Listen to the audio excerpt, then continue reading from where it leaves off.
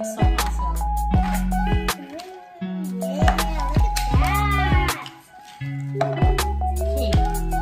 So we are going to solve these puzzles and then we'll see how long we will take.